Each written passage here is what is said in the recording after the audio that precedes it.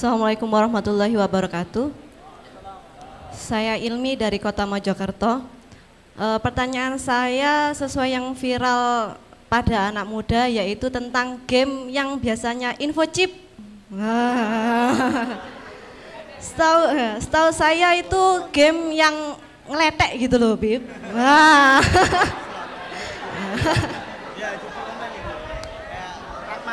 Nah, dan itu kan termasuk uh, judi, ya kan? Saya negur teman saya, eh sojo, Drinani kuah iku munu judi, dosa. Gak apa-apa, dosane online kok. Kan ini game online.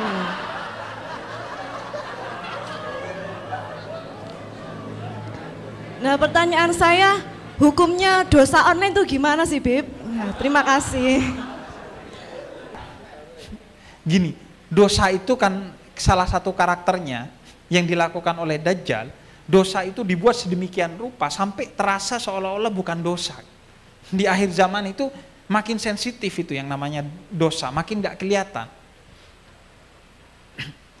Anda tahu tuh, bahkan ulama sebagian menilai permainan seret yang ngambil itu, itu judi.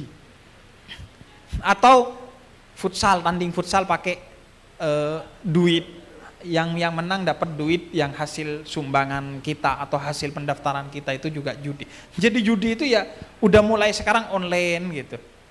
Adapun dosanya, dosa online itu. Anda kira neraka itu cuman offline?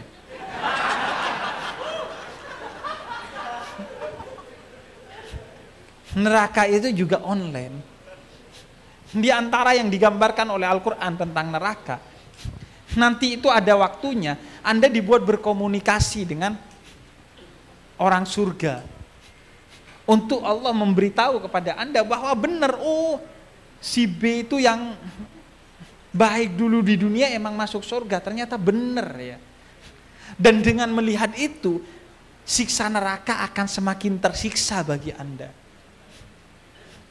Jadi justru sekarang itu peluang dosa itu bisa jadi lebih besar di online karena Anda gak merasa, Anda ngata-ngatain orang di online, seolah-olah itu bukan gibah, seolah-olah itu bukan fitnah.